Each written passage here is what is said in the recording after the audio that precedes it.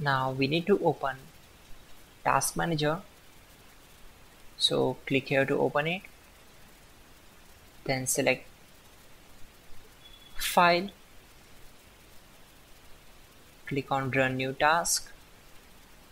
Now click here. Then click on this PC just scroll down and open C drive. Then open Windows folder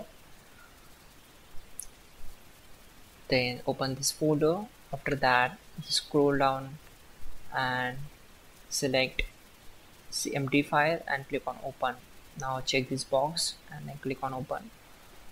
Now we are going to execute some commands.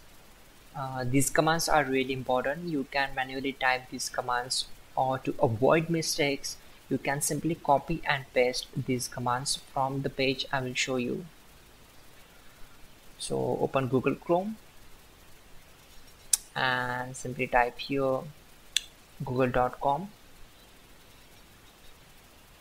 then in the search bar type hows.tech windows commands and hit enter.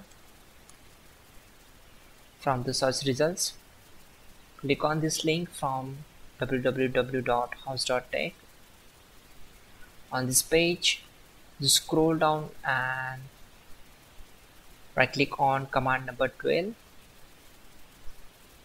select copy. Then right click here. Click on edit and select paste. Then hit enter to execute the command. Now again go back to the page and copy command number 13 again paste that command on command prompt and hit enter. Once done type exit and hit enter to close the command prompt.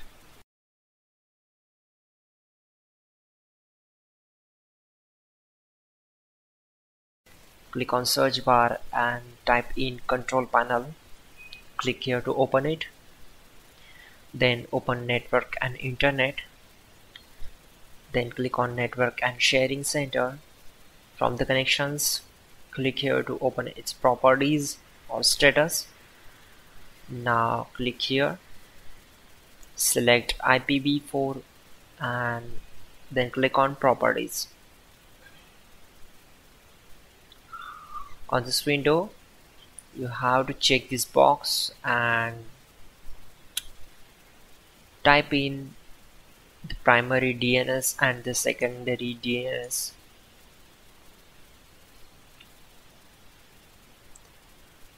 now click on OK. Now close all windows one by one.